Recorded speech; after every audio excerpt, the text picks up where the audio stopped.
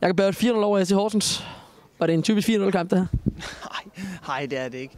Øh, Det var en meget, meget rodet kamp. Øh, Det var ikke en af de, øh, et- det er ikke en af de kønneste kampe, vi har spillet, men vi var effektive, og det var dejligt. Det var, det var os, der var det i dag, frem for, frem for modstanderne. Og 4-0, det, det er bare stærkt med Horsens. Kampen, som man så det fra tribunen, det kan alle sidde og snakke om. Hvordan var det inde på banen? Jamen, som jeg lige sagde lige før, meget, meget rodet. Øh, Vi er, vi har svært ved at spille med den, og, og Sten ender med at sparke mange bolde ud. øh, Og så bliver, det, så bliver det meget på Horsens præmisse i forhold til dueller. Øh, Men øh, jeg synes øh, generelt øh, hele kampen, at vi forsvarer os utroligt godt på de standarder, som vi ved, de er så sindssygt gode på.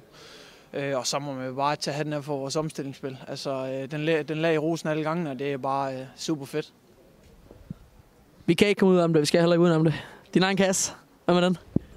Jamen, det er hverdagskost jo. Nej, det er det ikke. Øh, det, var, øh, det var dejligt. Øh, og det er dejligt, når man, øh, når man, endelig, øh, når man endelig forsøger sig udefra, og så ser den øh, gå ind. Jeg vil gerne indrømme, at øh, lige i starten troede jeg faktisk ikke, den var inde. Øh, det er måske også derfor, jeg selv lover overrasket ud, at den så endelig går ind og lige pludselig ligger derinde. Øh, men, øh, men dejligt at komme på tavlen. Og, men, men igen, det vigtigste var bare i dag, at vi, øh, vi får de tre point. Det, det trængte vi til, og det, øh, det synes jeg også, vi fortjente.